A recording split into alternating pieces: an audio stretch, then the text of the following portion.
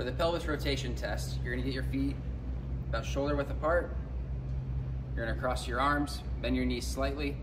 And you're gonna rotate to the right without moving your shoulders, just moving the hips. Then you're gonna rotate to the left.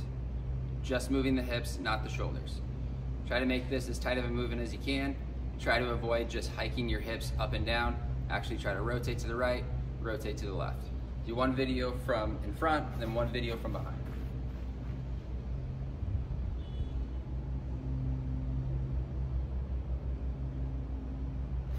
Do about two or three each side from each direction. So one facing straight on and then turn around here in the same video and do two or three to both sides.